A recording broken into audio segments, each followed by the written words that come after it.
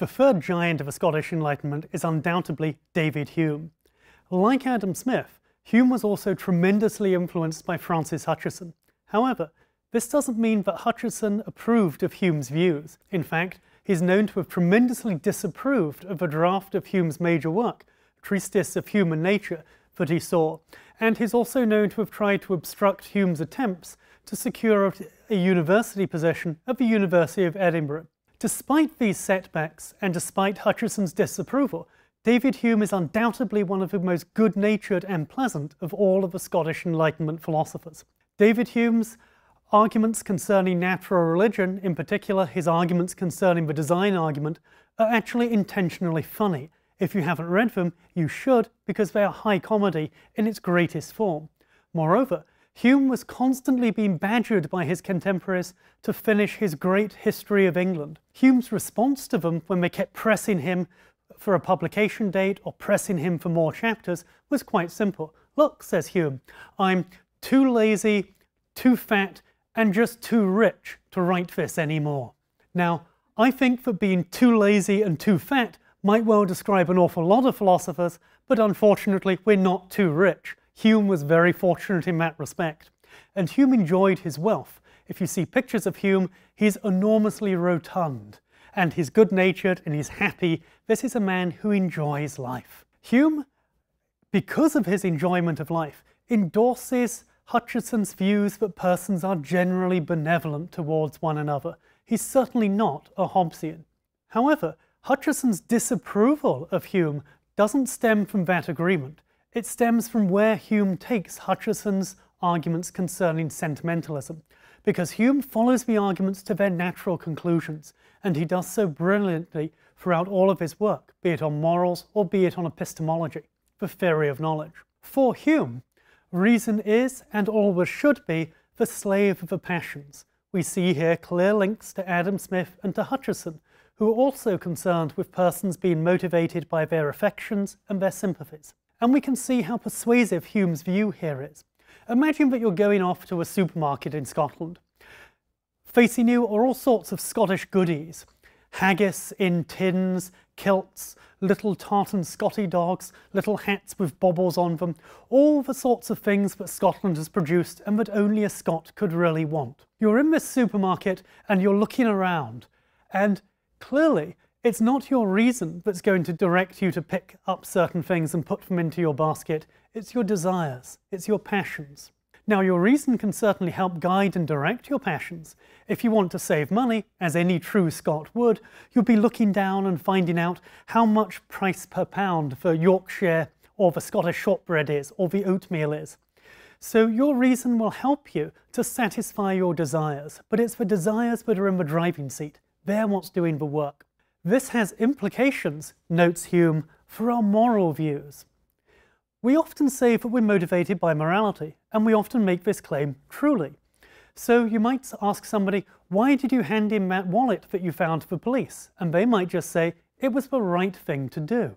Or you might say, why didn't you take your roommate's yogurts out of the fridge? They wouldn't have spotted that they'd been missing, and you might say, well, it's the wrong thing to do. You're motivated by considerations of morality. What is right and what is wrong helps guide and determine your actions. But notice, says Hume, if that's true, and it seems to be, morality cannot be rationally based. Because remember, reason it is not reason, but our passions, our affections, that lead us to perform certain actions. So morality is based upon our sympathies, our passions, in Humean terms, our sentiments, to link more clearly with Adam Smith and Francis Hutcheson. So we're guided and directed by our sentiments.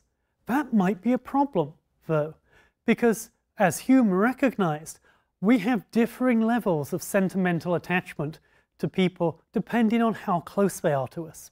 We're very readily motivated to exercise what Hume terms the natural virtues of benevolence towards friends or family members.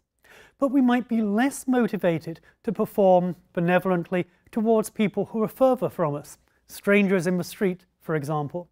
And this might be a problem because if we're dealing with people in a large impersonal society, we want individuals to be motivated to treat others justly, even if they're not members of their family or their close friends. How do we get to this? Hume notes that we have, as well as the natural virtues, such as familial benevolence, what he terms artificial virtues, such as justice.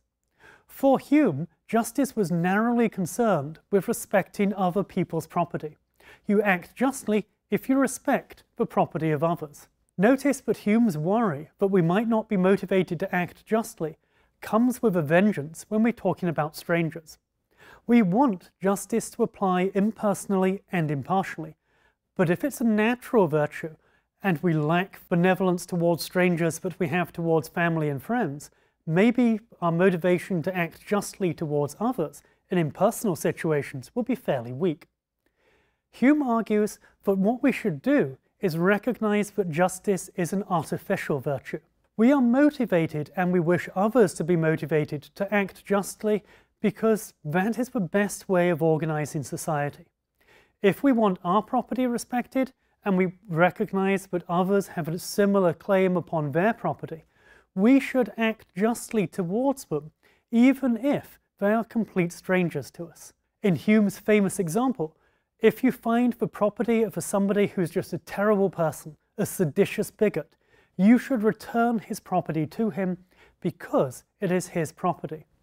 So, we have this general virtue of justice, which is artificial and which we try to instill in ourselves and in others because to do so will maximize general social utility, or at least work to the advantage of social utility. So, for Hume, our passions are indeed guide and direction of our actions. They're the font of our actions.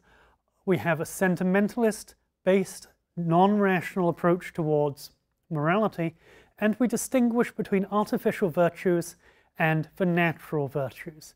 Again, like Smith and Hutcheson, if we take Hume's views on board here, we're going to be putting together various social institutions that recognize that persons are generally benevolent, but might need additional push to respond justly towards persons with whom they have no direct personal relationship.